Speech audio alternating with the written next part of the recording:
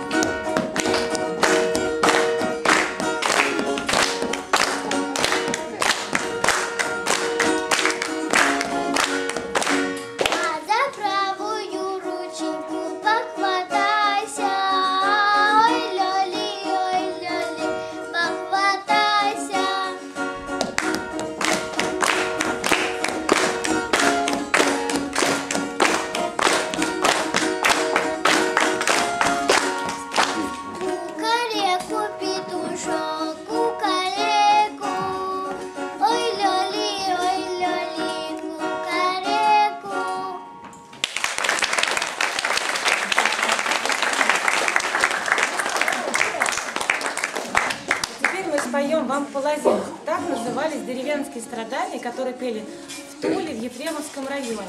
Когда парни и девушки собирались в вечерку, выходил гармонист, заигрывал полозинком. Это значит лоза, забор из лозы. Вот они шли вдоль этого забора и запевали полозинком. Вот пока кто освоил, четвером так четвером дорастут, буду следующий дальше петь.